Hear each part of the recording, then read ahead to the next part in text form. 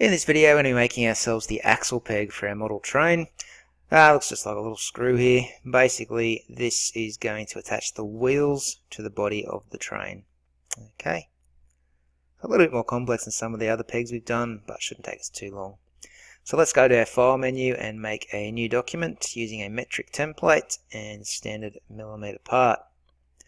From here we're going to start a 2D sketch and click on the base plane which is the XZ plane. Click on that and holding down the wheel on your mouse just push that center point off to the side. We don't care about that at the moment.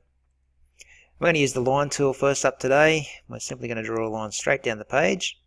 Make sure it's perfectly straight at 180 degrees and the size you want it is 25 millimeters. So type in 25 and press enter.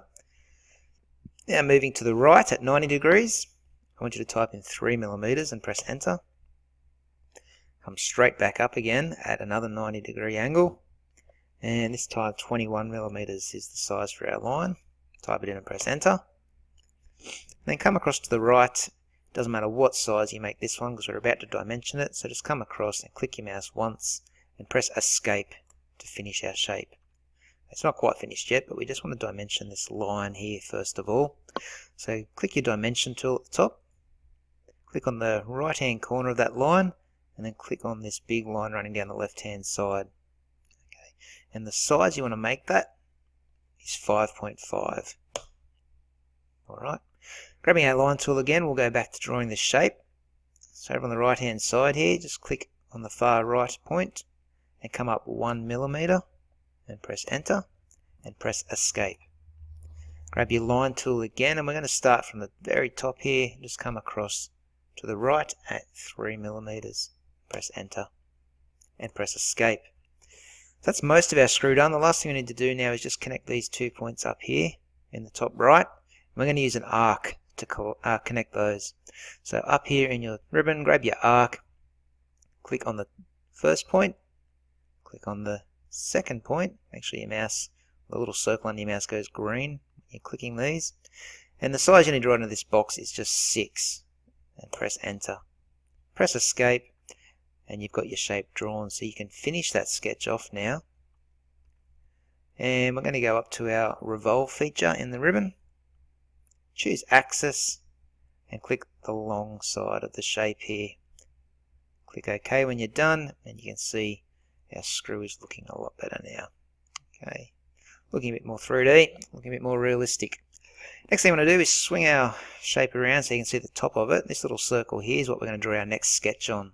So start another 2D sketch and click this top circle.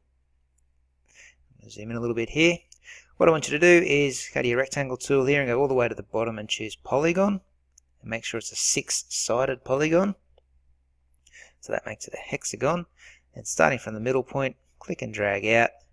Now you want to have one of the sharper points or both those sharper points level with that middle line. So it's going to be sitting something like that. Okay, press escape once you've got that drawn.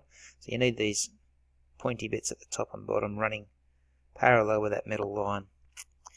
And uh, the last thing to do is just dimension this hexagon. So click your dimension button. We're going to click on this top line and this bottom line.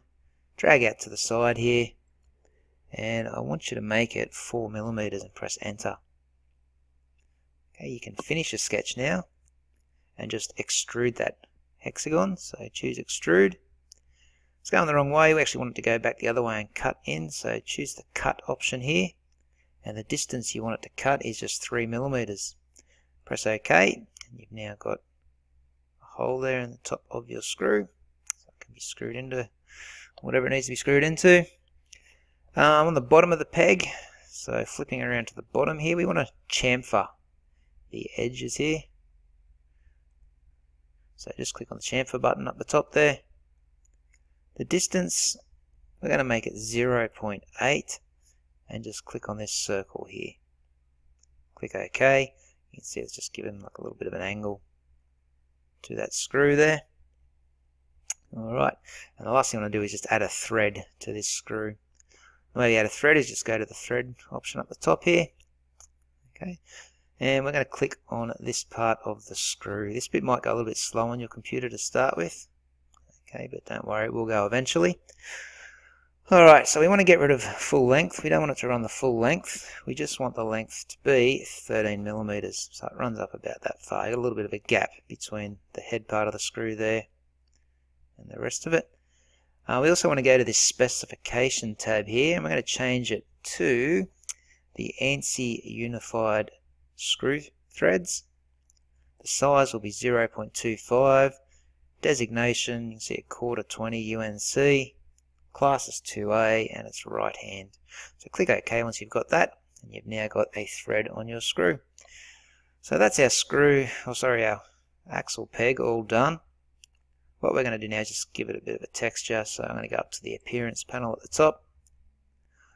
Um, it doesn't really matter what you turn this because you can change the colors later on when you put your train together. But I'm just going to put in a galvanized look to it. So highlight your peg, hover over galvanized and hit the up arrow and that will add the appearance, the galvanized appearance to your peg. Okay, so that's all done. Save that up. See you in the next video.